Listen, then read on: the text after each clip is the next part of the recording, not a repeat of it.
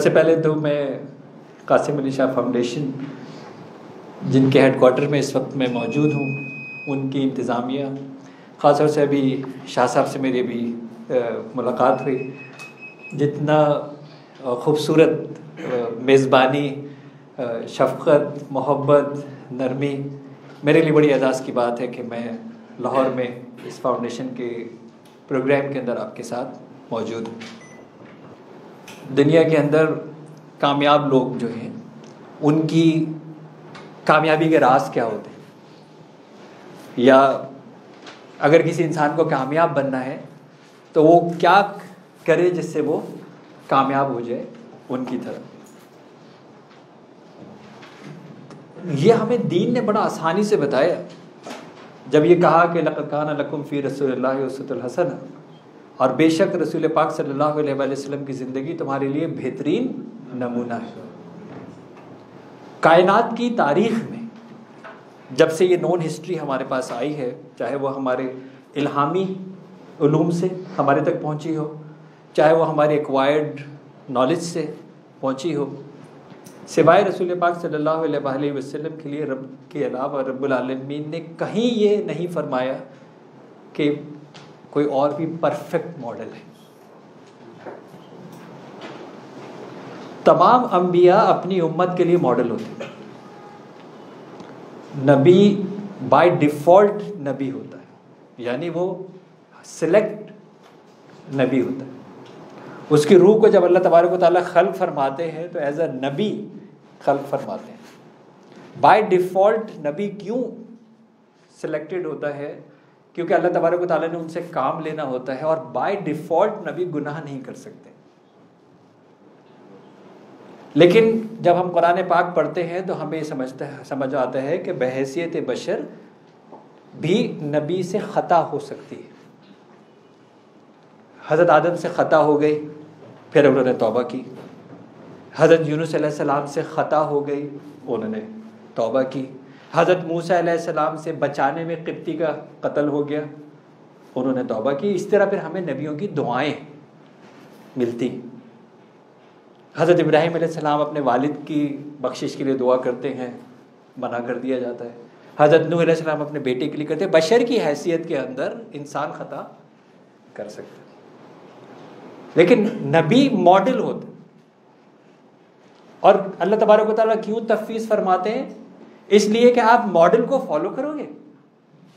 इनके स्टेप्स पे चलोगे, कामयाब हो जाओगे। और एहसान अजीम है रब्बुल आलमीन का कि रहमतुल्लामीन सल्लल्लाहु अलैहि वसल्लम को परफेक्ट मॉडल कह के भेजा कि आप जिस पहलू में जिस तरह से आप फॉलो करेंगे, आप सक्सेसफुल हो जाएँगे। और मैं अपने ईमान की तकाजे, अपनी ज़ाती बात कर रहा हूँ। कि मैं ये समझता हूँ कि अगर मैं रसूल पाक सल्लल्लाहु अलैहि वसल्लम की सुन्नत पे जुस्तजू भी करूँगा तो भी कामयाब हो जाऊँ अगर मैं जुस्तजू भी करूँगा, यानी अगर आपके जो अहकाम हैं उसकी अगर मैं जुस्तजू भी करूँगा तो भी मैं कामयाब हो जाऊँगा। तो एक बात मुझे कैमरे समझ में आ गई कि कामयाबी का तरीका एक ये होगा कि रोल मॉडल ढूंढा जाए। अब वो रोल मॉडल अपनी अपनी इंडस्ट्री का रोल मॉडल होगा। मेरे बहुत सारे कारोबार हैं। उस हर कारोबार का एक ना एक रोल मॉडल होगा। उसमें आप टेक्सटाइल का कारोबार उठा लीजिए, आप खाने पीने का कारोबार उठा लीजिए, आप कंस्ट्रक्शन को उठा लीजिए, आप ट्रांसपोर्ट उठा लीजिए, आप कंप्यूटर उठा लीजिए, आप डेटा स्विचिंग उठा लीजिए टेलीफोन उठा लीजिए। हर फ़ील्ड में, दुनिया की तारीख में हमेशा कुछ कामयाब होते हैं और कुछ नाकाम होते हैं। पाकिस्तान के अंदर भी आपको मिलेगा, जी, सारे हालात बहुत ख़राब हैं, लेकिन कुछ कारोबार हैं जो आज भी ग्रो कर रहे हैं और बहुत सारे कारोबार हैं जो नहीं चल रहे तो इसका मतलब है कि एक तो कुछ तो डिफरेंस होगा ना, कि उन्हीं हालात के अंदर किसी का कारोबार चल रहा है और किसी का नहीं चल रहा। तो अगर मुझे अपने कारोबार को चलाना है तो मुझे किसको फॉलो करना चाहिए? कौन से वाले? रोल मॉडल तो दोनों हो गए ना। यानी मैं कामयाब वाले को जाके स्टडी करूँ या नाकाम वाले की करूँ? दोनों को स्टडी करना होगा। और मैं आपको ये बताऊँगा, जो कामयाब लोग होते हैं, वो सिर्फ़ कामयाब लोगों को स्टडी करते हैं। जो कामयाब लोग हैं दुनिया के अंदर, वो सिर्फ़ कामयाब लोगों को स्टडी करते हैं। मैं पचास आदमियों की नाकामी को पूछ के क्या ऐड करूँगा? माइंड सेट बता रहा हूँ। मुझे पास होना है, मुझे फेल नहीं होना। अगर मेरी तवज्जो फेल नहीं होना है तो मेरी बहुत सारी एनर्जीज उस बचाव की तरफ़ काम कर रही है कि मुझे फेल नहीं होना। इस पाँचों हवास में से जो चीज़ भी आएगी, इसको प्रोसेस करना है। मुझे सेहतमंद रहना है, मुझे बीमार नहीं होना। और आप स्टडी कीजिएगा अपने आसपास। वो जो कहकर बस मैं बीमार ना हो जाऊँ, उसके बाद दवाइयों का अंबार होगा। वो हर बार कुछ ना कुछ फाँक रहा होगा। यार, ये खा लूँ, इससे ये कम ना हो जाए। मैं वाइटामिन खा लूँ, मैं मिनरल खा लूँ, मैं कैल्शियम खा लूँ, मैं गैस की गोली खा लूँ क्योंकि मुझे बीमार नहीं होना। और जिसको बीमार नहीं होना, वो दवाइयाँ रहा और जो ये कह रहे हैं कि मुझे सेहतमंद रहना है, उसके बाद दवाइयाँ नहीं है। मेरे पास जो वक्त है, देखिए एक बात बड़ी इंपॉर्टेंट है। वक्त एक ऐसी चीज़ है, जिसकी तकसीम के ऊपर कोई मुबर्रा नहीं है। दुनिया का कामयाब तरीन और दुनिया का नाकाम तरीन, वही चौबीस घंटे वो अल्लाह का कितने बरगुजीदा पैगंबर हो और उनका कोई मामूली सा उम्मती हो, दोनों के पास वही चौबीस घंटे ऐसे ही है ना?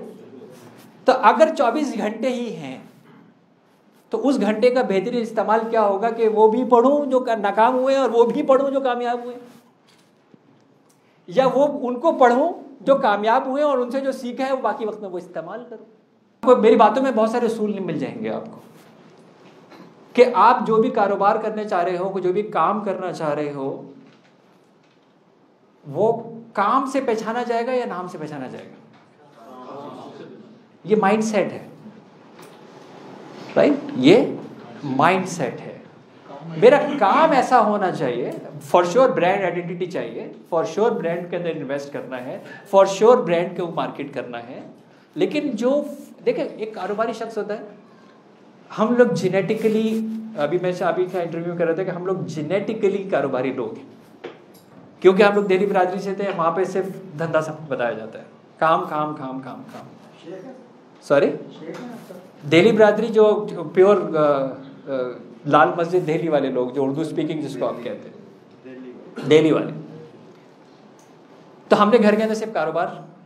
हमारे खानदान के अंदर महराज होती थी कि उसको मैट्रिक तक पढ़ने दिया जाए।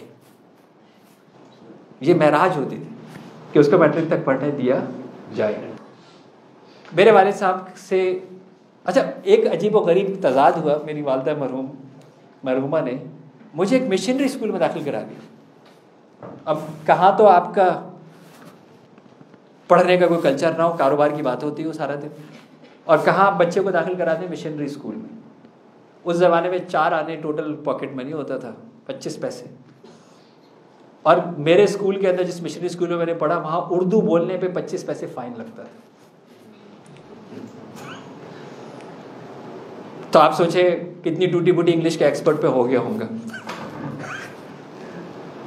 अमेरिका के अंदर, कनाडा के अंदर, अपनी ज़िंदगी के 25 साल गुजारने के बाद मेरी बड़ी ख्वाहिश ये होती है कि जहाँ पे भी मैं ऐसी ऑडियंस से बात कर सकूँ, जो उर्दू समझते हैं, वहाँ खुल के उर्दू बोलूँ ताकि अपनी इसलाह कर सकूँ। ताकि मैं अपनी ज़ुबान को बेहतर जो है वो कर सकूँ।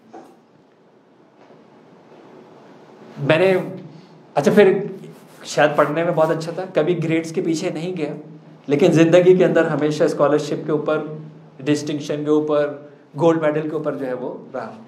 ग्रेड्स के पीछे कभी नहीं भागा, लेकिन ज़िंदगी के अंदर मैंने हमेशा I have done my to have done to P H Ds I have done a lot of education जो हमेशा या स्कॉलरशिप पे या डिस्टिंक्शन पे या गोल्ड मेडल है या सो एंड सो फोर्थ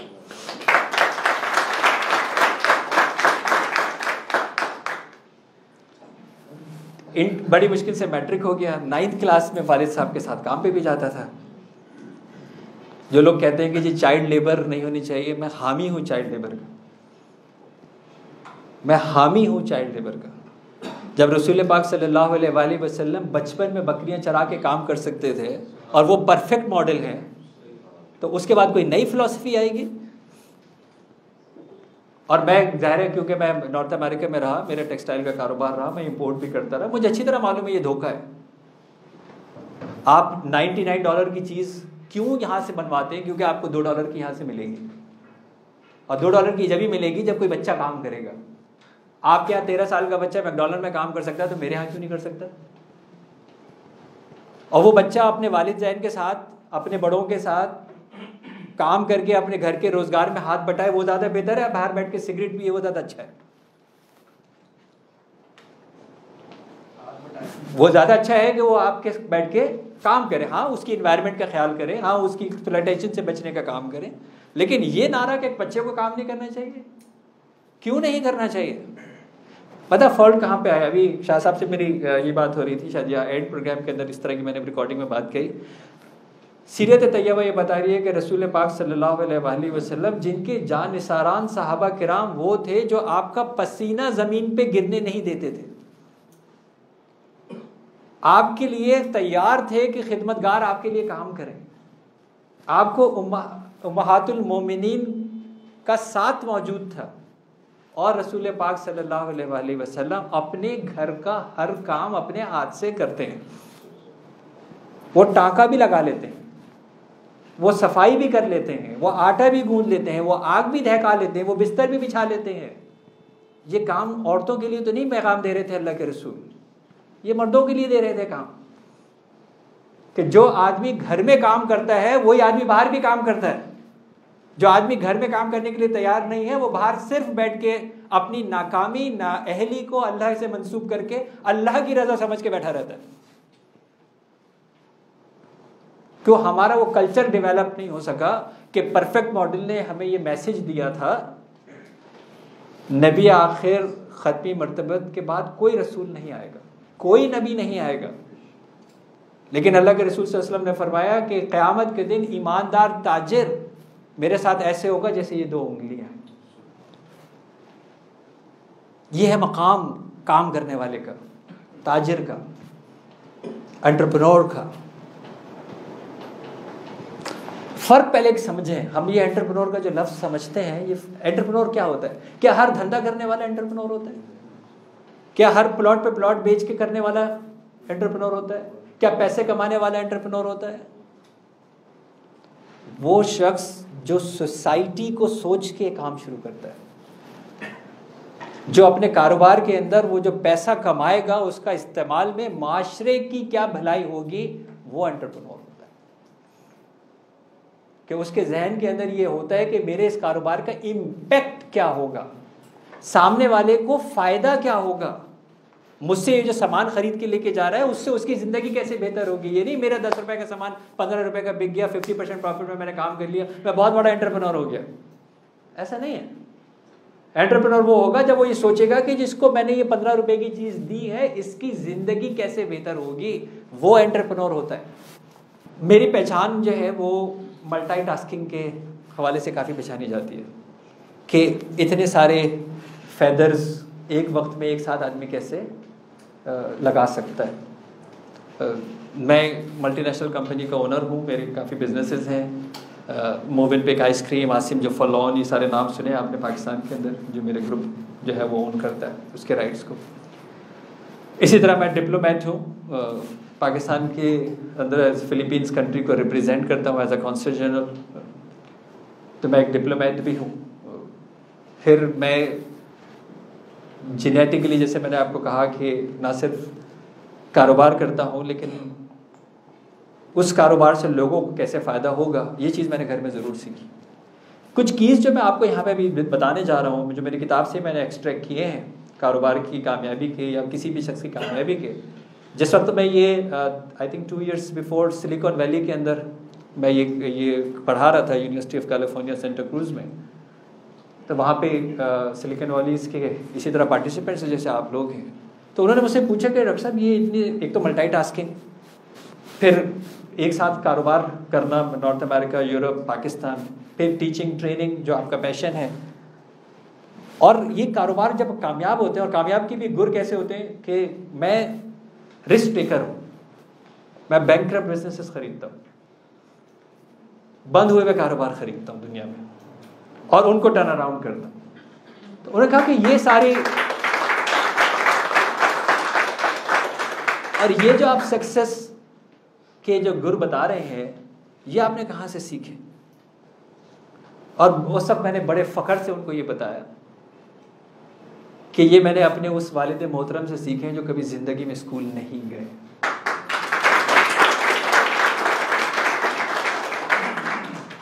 तो अगर सिलिकॉन वैली के अंदर पढ़ाने वाला टीचर गुर वो बता रहा है अपने उस वालिद के तो इसका मतलब ये है कि ये जो हिकमत है, ये किताबों की मोहताज नहीं है।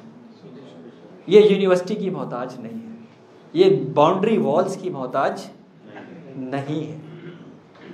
तो कामयाब लोग ज़रूरी नहीं है कि वो डिग्री होल्डर्स हों। बहुत अच्छी बात है कि मेरी तरह डिग्री होल्डर्स भी मेरे वालिद साहब को जब मैंने कहा कि जी, मैं आगे बढ़ना चाहता हूँ, कॉलेज जाना चाहता हूँ तो उस पर खासा भूचाल आया घर के अंदर कि ये क्या हो गया? बागी हो गया। बागी हो गया। एटी थ्री की मैं बात बता रहा हूँ एटीन एटी थ्री की। बागी हो गया। बड़ी मुश्किल से मैंने इंटर तक अपने आप को खींचा। मेरे वाले साहब ने टोटल सेकेंड ईयर में चार दिन मुझे कॉलेज जाने दिया। एक दिन मैं ऊपर उतरा था वाले साहब ने मुझे कहाँ जा रहे हो? मैंने बाबू कह देता मैंने बाबू जी आज पेपर है, इम्तहान देने जा रहा हूँ। काम पे कब आओगे? मैंने कहा कि, जी, एक बजे पहुँच जाऊँगा। इतनी देर से क्यों आओगे? मैंने कहा, जी, बारह बजे पेपर ख़त्म होगा। साइकिल पे मैं हूँ। साइकिल चलाता हुआ आऊँगा। तो मैं एक बजे पहुँच जाऊँगा। तो मेरे वाले साहब ने कहा, जब, ज़ाहिर है जब देर से जाओगे तो देर से ही आओगे। अगर जल्दी जाते तो जल्दी आ भी जाते। मैं आपको माइंड सेट बता फिर खैर, किसी तरह जब इंटर तक भी नहीं पहुँच पाया तो मुझे समझ में आया कि शायद तालीम का जो सिलसिला मैं यहाँ पे शुरू करना चाहता हूँ अपने लिए, वो शायद मुमकिन नहीं होगा उस माहौल की वजह से। अच्छा फिर मेरे वाले साहब ने देखा कि ये बच्चा जो है, ये बगावत पे उतरा हुआ है और ये पढ़े बगैर बाज आएगा नहीं। तो उन्होंने क्या किया? पैसे का मुँह खोल दिया। सौ रुपए रोज पॉकेट मनी।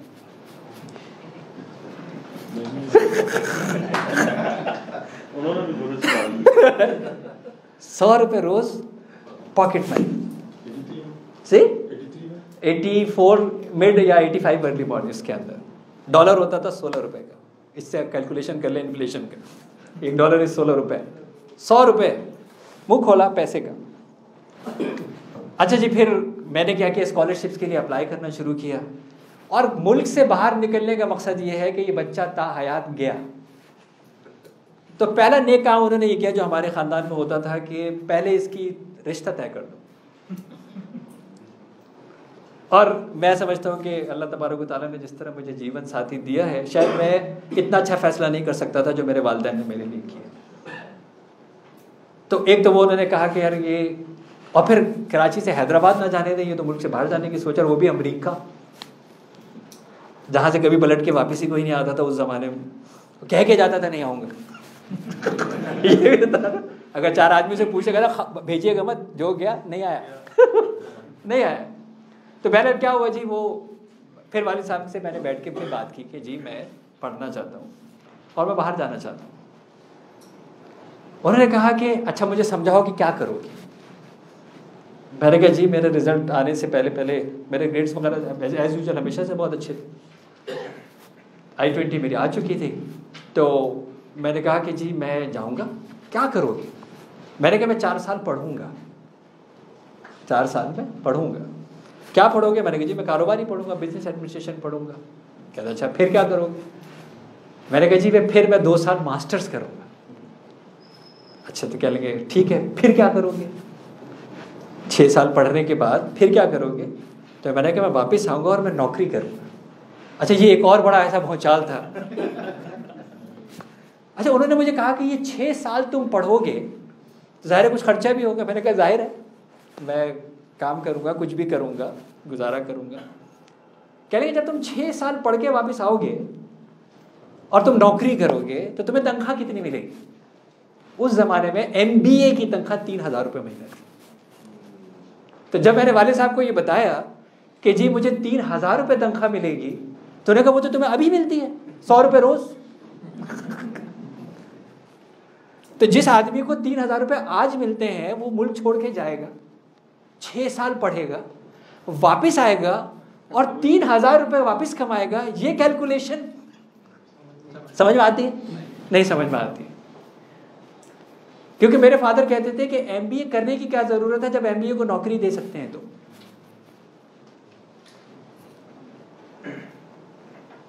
अच्छा ना ज़ाहिर ये कैलकुलेशन में समझ में आती है। जैसे अभी आइटन नीचे कोई बात हो रही थी तो कह रहे थे कि डॉक्टर साहब, ये इकॉनमी का क्या होगा? मैंने कहा, जी इकॉनमी का बड़ा सिंपल फार्मूला मैं बताता हूँ कि आगे क्या होगा। आपकी इस वक्त जीडीपी जिसको जिसको आप अपनी ग्रोथ कहते हैं, या आप अपनी इनकम कहते हैं वो आ रही है 2.3 2.4 के ऊपर। तो अगर मैं कैलकुलेट यहाँ पे करूँ तो दो रुपए तीस पैसे आपकी आमदनी है। आपका इन्फ्लेशन जो है वो डबल डिजिट हो चुका है, जो कि रोज बारह के ऊपर टच कर रहा है। ऐसा ही है ना? तो दो रुपए तीस पैसे आपकी आमदनी है और बारह रुपए चीज़ हो गई महँगी। थर्टी परसेंट आपकी करेंसी डिवैल्यू हो चुकी है। ऐसा ही है। तो आपकी आमदनी है दो रुपए तीस पैसे। आपका इन्फ्लेशन है बारह रुपये आपका रुपी डेप्रिशिएट हो चुका है, यानी आज जो आपकी जेब में पैसे थे, उसकी तीस रुपए और कम हो चुके हैं, और आपकी पॉपुलेशन ग्रोथ है तीन परसेंट प्लस के ऊपर। नीचे जो जवाब आएगा, वो आपका हिसाब होगा। किसी हिसाब में ये फिट नहीं होगा। दो रुपए तीस में से क्या माइनस करेंगे?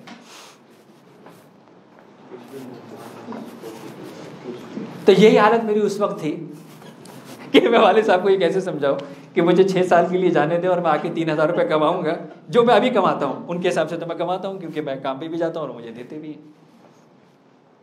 तो मेरे पास कोई ऑप्शन नहीं थे सिवाय इसके कि मैं भाग जाऊँ।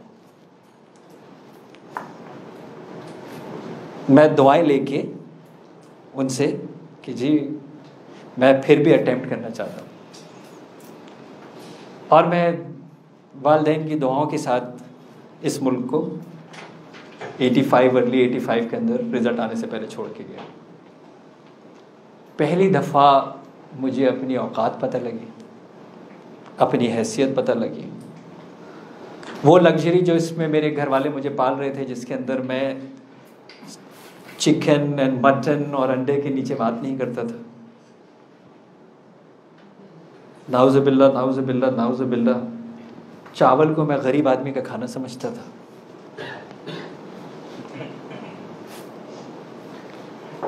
अल्लाह मैंने मुझे ऐसा ज़बरदस्त एक्सपोजर दिया कि मेरी पहली खुराक ही टोटा कनकी गीले चावल के अंदर नींबू निचोड़ के मैंने खाना खाया। मुझे ज़िंदगी पता लगी कि भूख क्या होती है जब मैंने पंद्रह दिन एक मील पर डे पे गुजारा किया। कि ये अल्लाह का बड़ा एहसान था, क्योंकि मेरे वालदेन हलाल रिस्क के ऊपर मेरी तरबियत की थी। तो ज़िंदगी के अंदर शायद अब कोई मुल्क ऐसा नहीं बचा जहाँ मैं नहीं गया हूँ ट्रेनिंग कराने के लिए या अपने बिज़नेस के लिए। अल्लाह ने हर उस बुराई से महफूज रखा जिसको आप सिगरेट, नशा, शराब ऐसा नहीं है कि मैं कोई बहुत पारसा था, मेरा हाथ ही कभी नहीं गया। क्योंकि शायद वो घुट्टी के अंदर, वो जो हलाल रिस्क की तरबियत थी, उसने शायद मुझे कभी उसकी तरफ़ जाने जो है वो नहीं दिया। तो मुझे समझ में आया कि ज़िंदगी क्या होती है चैलेंजेस क्या होते हैं। वापस जा नहीं सकते थे। वापस तो जा नहीं सकते थे। लकीली क्या हुआ कि अमेरिका के अंदर अमेरिकन मैथोडिस्ट चर्च आईएसबी भी आ गई, लेकिन स्कॉलरशिप कंप्लीट नहीं थी। अमेरिकन मैथोडिस्ट चर्च ने कहा कि अगर कोई ऐसा को, हमारी यूनिवर्सिटी है फिलीपींस के अंदर अमेरिकन क्रिश्चियन यूनिवर्सिटी जो अभी फिलीपीन क्रिश्चियन यूनिवर्सिटी कहलाती थी बाद में। और उन्होंने कहा अगर कोई ऐसा कोर्स है जो आपकी कंट्री में अवेलेबल नहीं है तो उसके ऊपर स्कॉलरशिप कंप्लीट मिल सकती है। And that brought me the idea कि उस वक्त एनईडी के अंदर कंप्यूटर इंजीनियरिंग होती थी कंप्यूटर साइंस नहीं होती थी। तो मैंने कहा इसी में एडमिशन ले लो। मुझे खैर वो स्कॉलरशिप मिल गई। जहाँ से मेरी एजुकेशन जो है वो स्टार्ट हुई। एंड 1990 अर्ली 1990 जब मैं पाकिस्तान वापस आया तो I was the first gold medalist computer science graduate of Pakistan.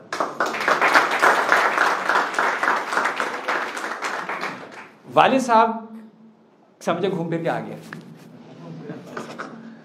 अच्छा वो जंग अखबार को जब ये पता लगा कि पाकिस्तान के पहला गोल्ड मेडलिस्ट आ गया है कंप्यूटर साइंस का तो उन्होंने बड़े बड़े फीचर्स और मैगजीन पे दो पेज और ये लगा के और बड़ा हुआ। मैं शाम को घर पे आया तो घर में बड़ी रौनक हुई है। लोग, हम लोग दायरे दिल्ली बरदरी के हैं। अगर हमें अगर किसी को घर पे बुलाना हो कि आप शाम को मेरे साथ खाना खाइएगा तो सत्तर आदमी मिनिमम होंगे। मेरे वलीमे में ग्यारह सौ लोग थे। तो ये मतलब आएँगे, क्योंकि आप छोड़ नहीं सकते किसी को ना बरादरी के तो बड़े फखर से घर वाले भी बैठे हुए थे, सब बैठे हुए थे। मेरे पता नहीं क्या हो गया, फूल वूल भी थे आ रहे थे। तो उस दफ़ा बारे बात हो रही थी उस दिन मेरे घर वालों को पता लगा कि मैं पढ़ के आया। वाले साहब ने कहा ये बहुत अच्छी बात है। अब ऐसा करो कि शादी जो सबसे बड़ा सर पे सवार था। मैंने वाले साहब से एक दरख्वास्त की कि बिल्कुल शादी करूँगा। मैं चाहता हूँ कि अपने पैसों से शादी करूँ। वो भी हमारे ख़ानदान में कभी नहीं हुआ। उस वक्त क्योंकि फैमिली होती है फैमिली अरेंज करती है फैमिली होता है फैमिली सिस्टम और ये हमारा समाजी सरमाया है। आज ये अक्टूबर का मंथ जो है ये मेंटल हेल्थ डे के ऊपर जो सब थीम थी वर्ल्ड हेल्थ ऑर्गेनाइजेशन की वो खुदकुशी का तदारुक था। और हमारे मुल्क के अंदर अगर दूसरे ममालिक के मुकाबले में खुदकुशी कम है तो उसके अंदर एक रीज़न तोहहीद है और दूसरा समाजी सरमाया है। जो हमारे फैमिली रिलेशन है जो हमारे सोशल रिलेशन है। ये तदारुक है जिससे इंसान अपनी ज़िंदगी जो है वो से हाथ नहीं धोता उस पर तो मैंने उनको कहा कि जी, मेरी ख्वाहिश ये कि मैं अपने पैसों से शादी करना चाहता हूँ तो मुझे थोड़ा सा टाइम दे। और उन्होंने कहा वक्त नहीं है। तो मुझे अगली फ़्लाइट मैंने पकड़ी। And I landed in Canada और मैंने कहा कि मैं वहाँ छः महीने कम से कुछ कमा के वापस आऊँगा। शादी करूँगा। फिर यही हुआ। मैं एक डेढ़ साल वहाँ पे रहा। अमेरिका में मैंने काम शुरू किया। कनाडा में मैंने काम सेटअप किया। जिस तरह मैं अपने पैसों से शादी करना चाहता था वहाँ से मैं जो है वापस आया। वालिद साहब को जो है वो कहा कि मैं अपने पैसे बहुत नाराज़गियों के बाद शादी हुई क्योंकि हमारे यहाँ बड़ी बहुत सारी रसूमात थी। जोड़ा मामू का होता है पति खाना किसका होता है किसका क्या होता है और ज़ाहिर उन्हीं की ख्वाहिश का होता है। हम वन शादी बिलीवर हैं तो इसलिए चाहते हैं कि, कि कुछ ख्वाहिशात अपनी अपने हिसाब से जो है वो जो है वो की जाए। बड़े, देखिए इंस्पिरेशंस होती है ना। प्रिंस चार्ल्स की शादी देखी थी। लेडी डायना का ड्रेस देखा था। जहन में ये था कि जी, मेरी भी बेगम होने वाली। लेडी डायना का ड्रेस पहन के आ रही हो, पीछे इतना लंबा वो चल रहा हो। आइडिया पेश किया तो क़्यामत आ गई। थोड़ा फाइट करते रहे, पहली दफ़ा चांस ये था, अपने पैसों से कर रहे थे। तो कहा कि कहा जी, ये तो वाइट कलर का जोड़ा। ये तो हमारे यहाँ कुछ होने के बाद पहना जाता है। ये अभी से ये कैसे होगा? अब वो फाइट ऐसा था कि समझ कुछ नहीं आ रहा था। बहरहाल थाईलैंड भेजा गया, वो पिंक कन्वर्ट होके वापस आया। सोयर एंड सो फोर्थ समझाने का मकसद ये था कि जो रिस्क टेकर होता है, जो डिटर्मिंड होता है, जिसने फैसला कर लिया है कि मुझे हर हाल में वो करना है। अगर मैं सही कर रहा हूँ, देखिए बड़ा इंपॉर्टेंट काम ये है कि मैं गलत क्या कर रहा था अगर अपने पैसों से शादी कर रहा था। लेकिन बाद में क्या होता है कि आपको सामने डिटर्मेंट होना पड़ता है। डिटर्मेंट होना पड़ता है। फिर शायद मेरे घर वालों को समझ में आ गया कि अब शायद इसको नहीं रोक सकेंगे। अब शायद इसको नहीं रोक सकेंगे। फ़र्क था, हम लोग ज्वेलर्स थे। हमारे यहाँ वो पुराना कॉन्सेप्ट था कि कस्टमर को कुछ ना दिखाया जाए। नीचे एक तहखाना होता था, उसमें नीचे जाता था बंदा, एक सेट लेके आता था, वो दिखाता था, फिर पैक करता था, फिर नीचे जाता था, फिर आता था, फिर नीचे जाता था, फिर आता था। पाकिस्तान में पहली दफ़ा हम ये कॉन्सेप्ट लेके आए, पहला मॉल कराची के अंदर पार्क टावर जो है बना, पहली दफ़ा ये कॉन्सेप्ट लेके आए कि सारा ज्वेलरी खोल दो शीशे के शोकेस में रख और सब दिखा। अब ये टोटल वो डिस्ट्रप्शन थी उस ज़माने की, आप कह सकते हैं कि यार ज्वेलरी का कारोबार ऐसे भी हो सकता है। और ये वो फ़र्क था कि फाउंडेशन ऑफ़ जो हमने सीखा और न्यू इनोवेशन मॉडर्नाइजेशन जो हमने मगरब से सीखा that we become the first I S O nine thousand two jewellers of Pakistan तो ये वो फ़र्क होता है जब आप ज़माने के साथ चलते हुए अपनी इनोवेशन को अपग्रेड करते चले जाएँ और उस फाउंडेशन के ऊपर अपनी ये नई चीज़ें ऐड करते चले जाएँ तब आपको समझ में आता है कि कारोबार के अंदर ही होगा फिर ये सिलसिला अल्लाह का शुक्र है जो है वो आ, कभी नहीं रुका आज तक भी जो है वो नहीं रुका। तीसरी क्लास के अंदर मैंने पढ़ाना शुरू किया था जब मैं तीसरी क्लास में था क्योंकि चार आने के अंदर मेरी किताबें पढ़ने की ख्वाहिश पूरी नहीं हो सकती थी। क्योंकि मिशनरी स्कूल का बच्चा था, मोहल्ले के अंदर ऐसे बहुत सारे बच्चे थे जिनको मैं पढ़ा सकता था। तो तीसरी क्लास से मैंने ट्यूशन पढ़ाने शुरू की। सिक्स क्लास में मैं मैट्रिक के बच्चों को पढ़ाता था, क्योंकि मैं इंग्लिश मीडियम का बच्चा था और वो उस ज़माने में सिक्स क्लास से पहली दफ़ा इंग्लिश लागू हुई थी। तो मैट्रिक के बच्चों के ऐसे लिखना और लेटर लिखना और सिखाना और पढ़ाना और कुछ पढ़ा लिखा बच्चा था तो वो मोहब्बतों के खतूत भी मैं ही लिखा करता था। उस ज़माने में इंटरनेट भी नहीं था व्हाट्सएप भी नहीं था फ़ोन भी नहीं था। इसी ख़तों के ज़रिए मैसेज जो है वो दिया जाता था। और मैं पाकिज़ा मोहब्बत की बात कर रहा हूँ। बीवी चली गई है, वापस नहीं आ रही है घर वाले नहीं भेज रहे हैं। तो वो कहते थे, लिखो। अब वो बेचारे मुझे डिक्टेट करते थे। और मुझे वो याद है, वो कह लेंगे, उन्होंने मुझे अच्छी तरह याद है, वो वो मुझे उस पर बड़ा रहम आ रहा था शख्स के ऊपर। से कहा, खुदारा वापस आ जा तेरे बगैर, मैं कैसे रहूँगा?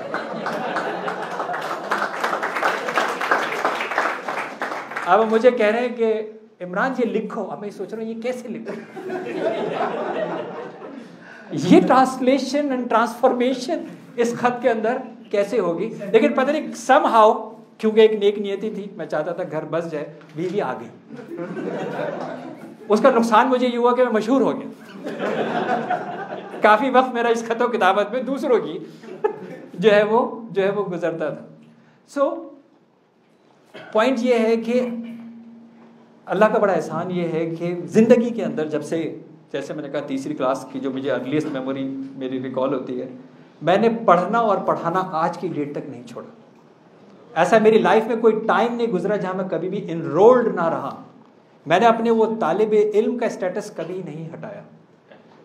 तो अगर आपको अच्छा उस्ताद बनना है अच्छा लीडर बनना है तो जब तक आप नॉलेज सीकर नहीं बनेंगे, जब तक आप तालब इल्म नहीं बनेंगे, जब तक आप अच्छे उस्ताद नहीं बनेंगे।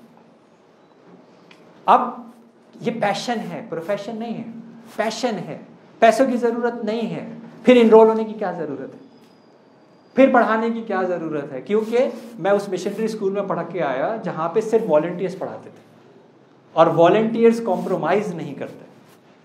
इसी तरह जब मैंने यूनिवर्सिटीज़ के लिए प्रोग्राम्स बनाए, कराची यूनिवर्सिटीज़ के लिए बनाए बैरियर यूनिवर्सिटी के लिए बनाए, जहाँ मेरे एक एक साल के प्रोग्राम्स पढ़ाए जाते हैं, वहाँ पे मेरी अपनी टर्म्स एंड कंडीशंस होती है। यूनिवर्सिटी सिंडिकेट की कंडीशंस नहीं मानता मैं। क्योंकि मैं टेक्नोलॉजी ट्रांसफ़र करता हूँ, मैं टेक्नोलॉजीज़ लेके आता हूँ, मैं नई नई मैं टेक्नोलॉजीज़ डेवलप करता हूँ। आपकी यूनिवर्सिटी में 50 परसेंट है, मेरी क्लास 75 परसेंट पासिंग मार्क्स आपके यहाँ 50 परसेंट अटेंडेंस है, मेरे यहाँ 95 परसेंट अटेंडेंस है। आपके यहाँ सेमेस्टर सिस्टम है, मेरा cumulative per day result accumulative system है। पढ़वाना है, पढ़वाइए। नहीं पढ़वाना तो मैं नहीं पढ़ाऊँगा, क्योंकि ना आपसे मैं कुछ ले रहा हूँ। ज़िंदगी में मैंने पढ़ाने का आज तक कभी पैसे नहीं लिए।